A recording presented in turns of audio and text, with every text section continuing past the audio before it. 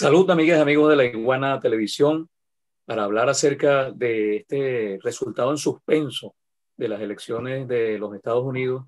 Tenemos hoy con nosotros a Franklin González, internacionalista, profesor de la Escuela de Estudios Internacionales de la Universidad Central de Venezuela, con quien, bueno, queremos analizar eh, en, este, en este caso que ha ocurrido toda esta, toda esta especie de drama con con, con el proceso electoral eh, a su juicio se, va a resolver, se va a resolver eh, el sistema político estadounidense va a lograr resolverlo o se va a generar un gran problema, una gran crisis política en los próximos meses en, Estados Unidos. Sí. Bueno, muchas gracias, eh, primero que todo, Rodovaldo, por tu entrevista. yo comenzaría eh, diciendo que estamos en esta era del, del COVID-19 declarado como pandemia a, a partir del 11 de, marzo de este año por la Organización Mundial de la Salud, en el derrumbe de algunos paradigmas. Uno de esos paradigmas que se está derrumbando precisamente es el paradigma de la certidumbre. Y entonces, digamos, hacer afirmaciones en este momento sobre lo que va a ocurrir eh, eh, en Estados Unidos, en definitiva, sería parte de la incertidumbre. En todo caso, para responder a la, a la inquietud, eh, te diría lo siguiente. En Estados Unidos, los presidentes que son electos terminan siendo algo así como administradores de la cosa pública y eh, buenos empleados o malos empleados, depende de quién sea, de esos que se llaman los poderes fácticos. En algunas otras eh, expresiones, el Estado profundo. Pero en definitiva, lo que está en juego son los intereses nacionales de ese país. Eh, ¿Qué va a pasar? Bueno, nos va a pasar otra cosa como lo que ocurrió en el año 2000. 2000, hay que recordar que más o menos eh, Estados Unidos estuvo sometido a la misma situación durante más o menos un mes y no se definía quién era el presidente entre W. Bush, el hijo eh, Bush, y eh, Al Gore. Al final terminó siendo electo por los colegios electorales quien no había sido electo popularmente.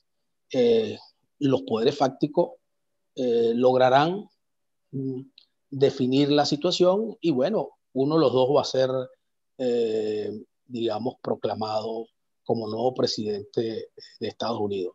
Ahora, eh, Estados Unidos vive una mm, eh, profunda crisis. Ya no es un poco en los términos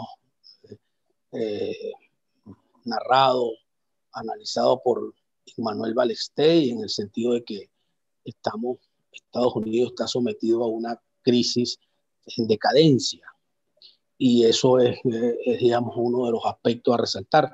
Sino que además eh, Estados Unidos es el, epicentro eh, del COVID. En estos días, eh, digamos, los casos han sido aterradores en ese país. Pero adicionalmente a eso, hay que decir que Estados Unidos se ha convertido en el epicentro de las protestas sociales por el tema del racismo y la discriminación racial.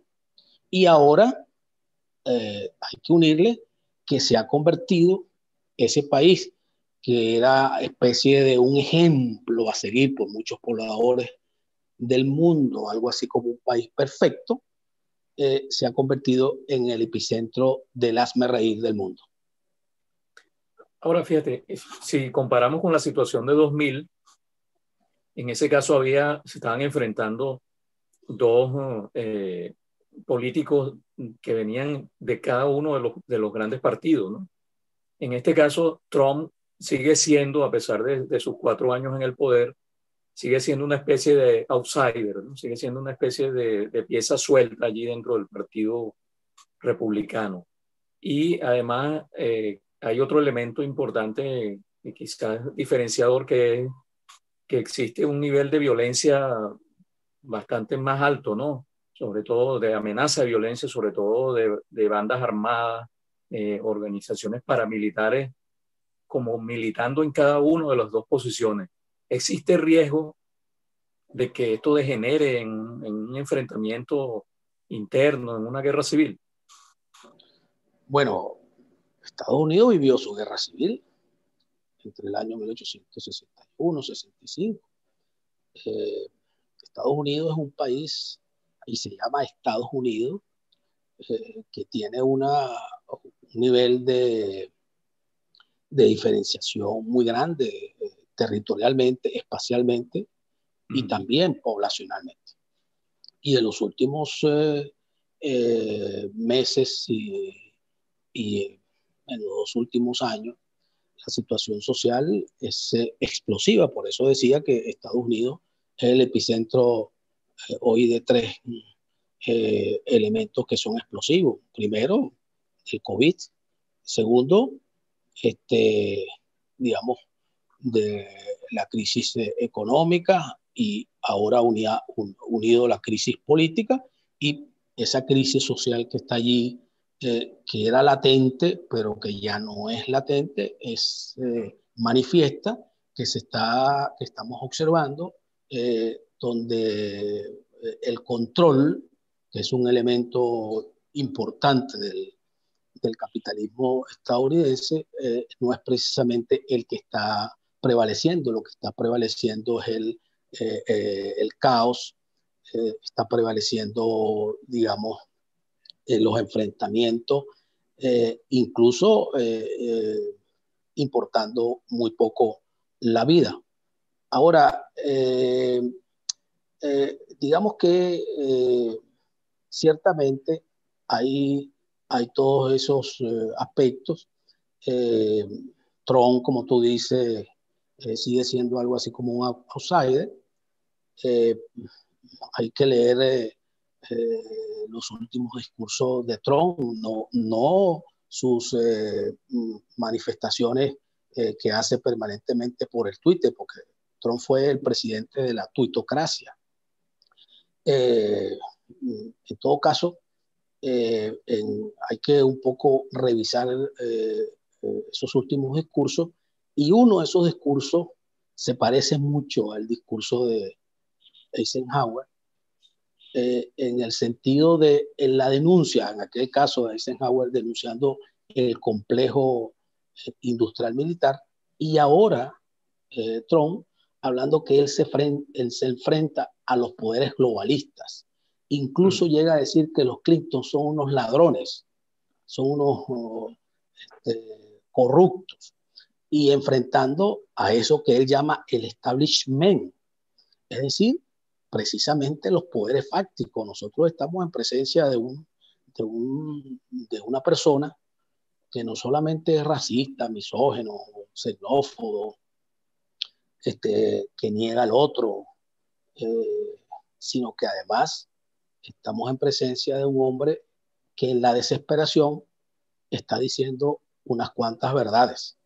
Mm. Eh, y ese es un, aspecto bien interesante, porque por, por denunciar eh, precisamente a los poderes que son los que dirigen ese país, en definitiva, en Estados Unidos eh, han asesinado a cuatro presidentes.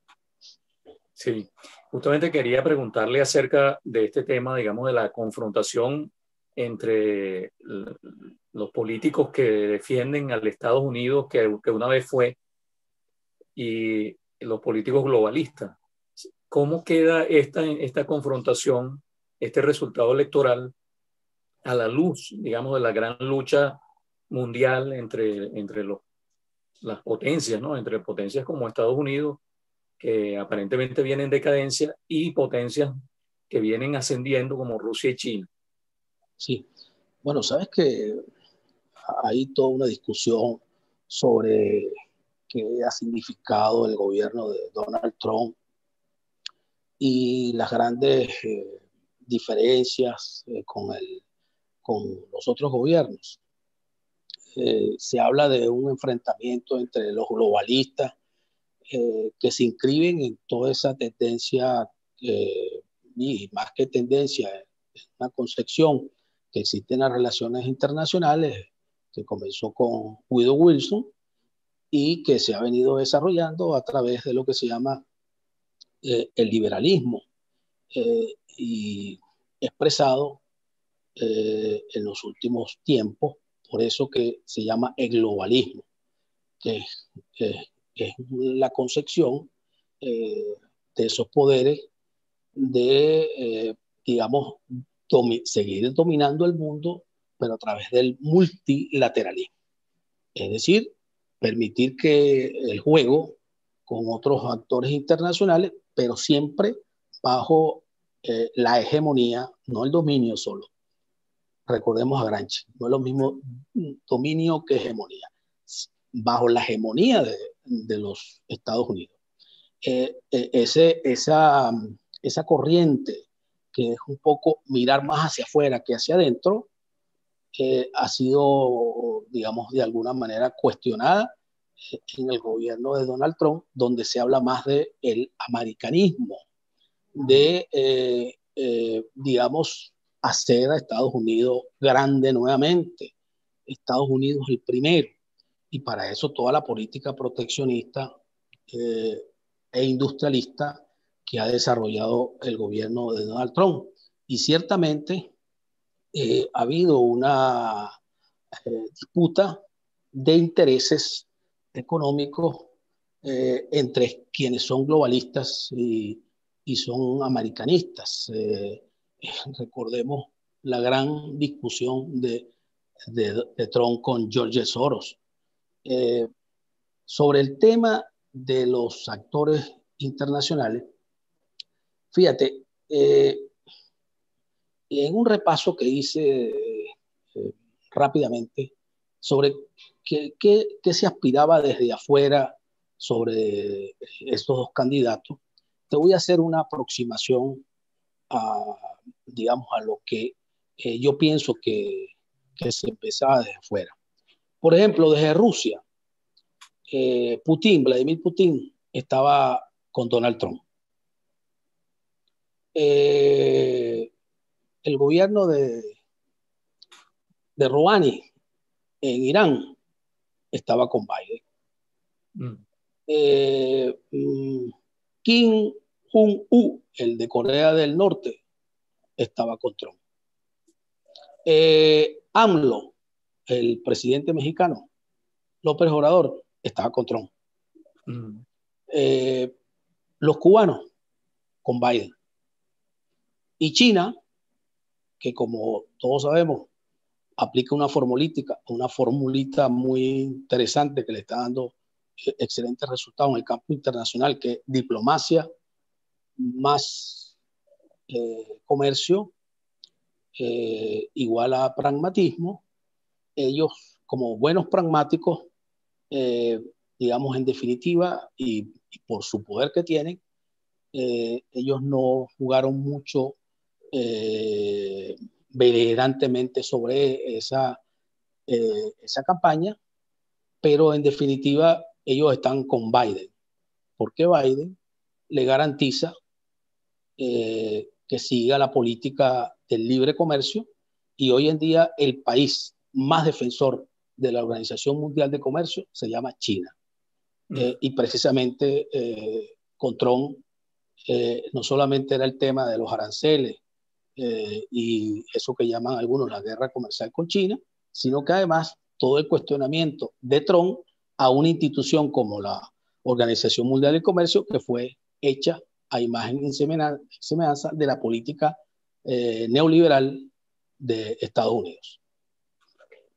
Ya para finalizar, profesor, quiero tocar, por supuesto, el tema venezolano. Eh, tuvimos una entrevista hace algunos días con Sergio Rodríguez Gelfestein y él nos decía que le parecía que incluso el gobierno de, Biden iba a ser mm, más peligroso para Venezuela que un segundo gobierno de Trump.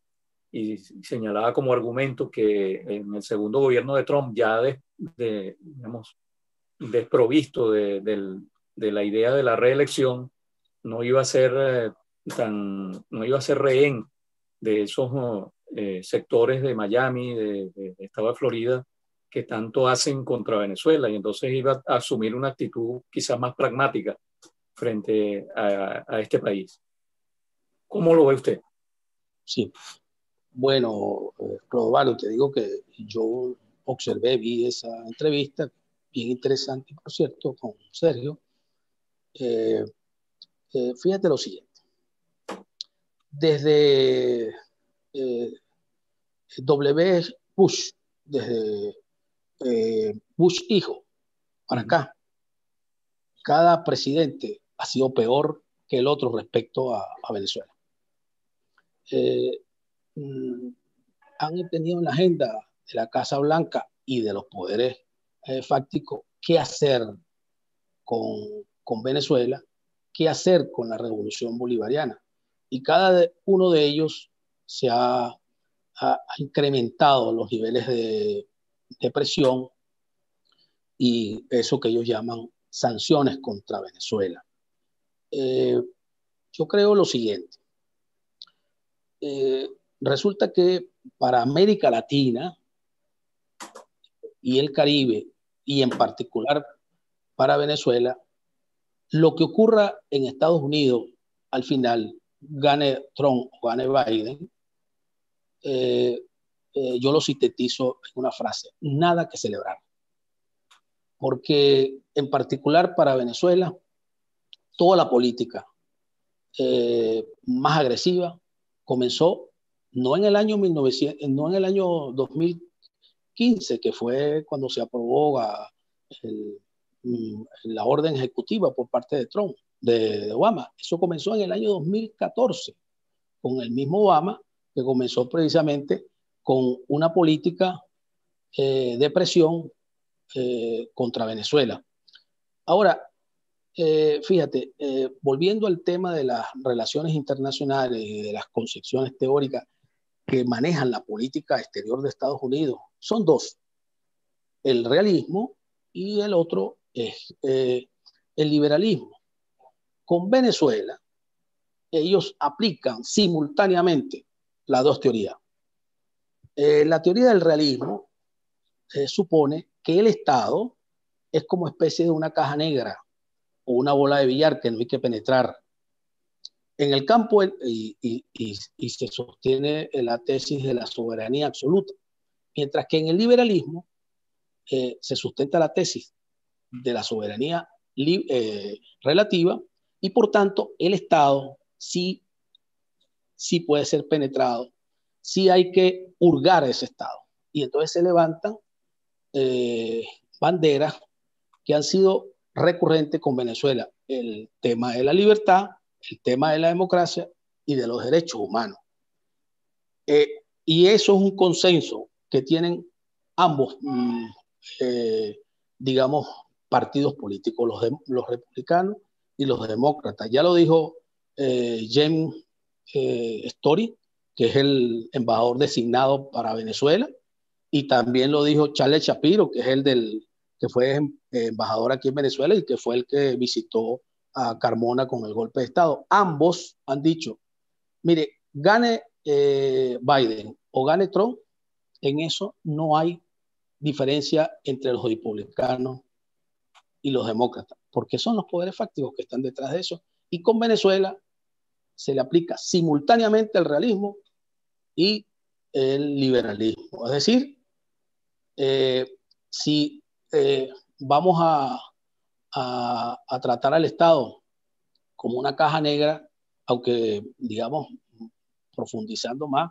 no tanto como una caja negra ni como una bola de billar, sino como un Estado que tiene mucho, muchos recursos eh, económicos, que en su territorio hay mucha riqueza y hacia esa riqueza hay que dirigir la atención. Y en segundo lugar, el tema repito, de la libertad, de los derechos humanos y de la democracia. Y eso está en la agenda de Biden y está en la agenda de Trump. Así que nada que celebrar para Venezuela. Eh, yo no sé si Trump en un segundo mandato iba a, ser más menos agresivo con Venezuela que, eh, que lo que fue en su primer mandato o en el caso de eh, Biden, mm, si va a continuar con la política eh, mm, que instauró Obama. En todo caso, repito, con Venezuela ha habido una continuidad desde, desde que salió Clinton para acá y cada uno de los gobernantes ha venido, digamos, eh, incrementando sus sanciones. Y todo, Clodovaldo, porque Venezuela representa para ellos lo que ellos mismos han dicho, un mal ejemplo y una piedra en el zapato precisamente de cara a, a los procesos de cambio en América Latina y Venezuela. No es solo Venezuela, es Venezuela y lo que significa Venezuela en el contexto latinoamericano y caribeño. A Venezuela se le ocurrió levantar banderas de independencia, de soberanía, de autodeterminación, eh, y eso no son, no son buenos mensajes para esos poderes que son los que, repito, en definitiva dirigen esa nación. Bueno, le doy las gracias al internacionalista y profesor universitario Franklin González por haber estado con nosotros hablando acerca de este tema que sigue en suspenso, ¿no? que es el de, la, de cuál será el presidente de Estados Unidos a partir de enero próximo. A ustedes, amigas y amigos de la Guana Televisión, ¿aló? ¿aló? Sí, sí, para finalizar, eh, Clodovaldo, eh, es que quería decir que eh, con este, esta situación que está ocurriendo en Estados Unidos, definitivamente ese país no clasifica en el ranking de los países desarrollados en el tema electoral, porque ya van para cinco o seis días y todavía no hay resultado eh, claro. Sí, y sin embargo sigue dictando cátedra, seguirá dictando cátedra, ya los veremos el 6 de diciembre y los días posteriores al 6 de diciembre las elecciones parlamentarias venezolanas, eh, expresando preocupación y otros de esos giros eh, diplomáticos tan característicos. Bueno, le doy las gracias entonces al profesor Franklin González por haber estado con nosotros y a ustedes, amigas y amigos de la Iguana Televisión. Les recuerdo que pueden suscribirse a nuestro canal y también si le dan a la campanita van a tener los avisos de cuando tengamos estas entrevistas y los demás programas de la parrilla de la Iguana Televisión. Le doy las gracias a Emilio La Peruta por la asistencia en la parte técnica y a ustedes, amigas y amigos, será hasta la próxima vez.